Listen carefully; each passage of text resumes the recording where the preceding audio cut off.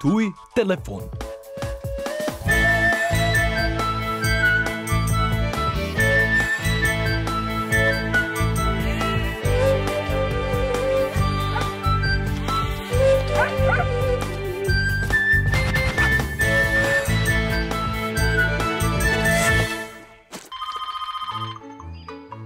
Hallo?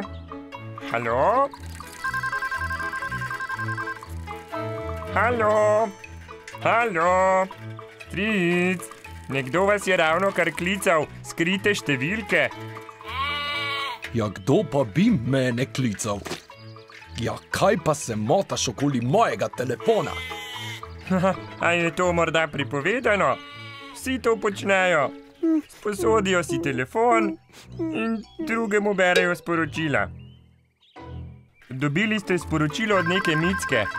Sprašuje, ali pogrešate kolesa. Z vozička? A?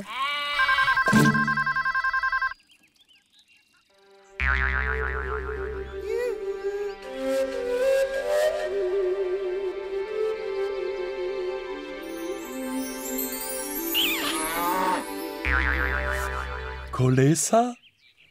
Z vozička? Mar niste pri njej včeraj eh, krožnike žgali? A? Krožnike žgali? Moja mitska. Mitska.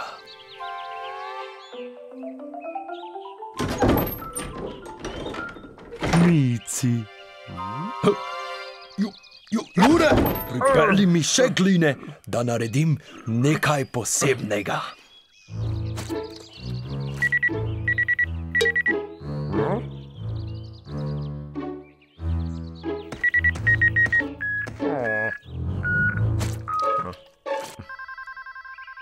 Stric, dobili ste uh, video na telefon.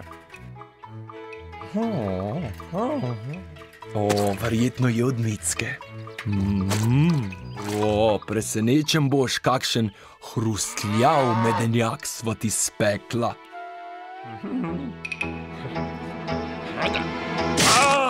Jure, sem ti rekel, da pazi, da si ne polomi zob na tujem telefonu.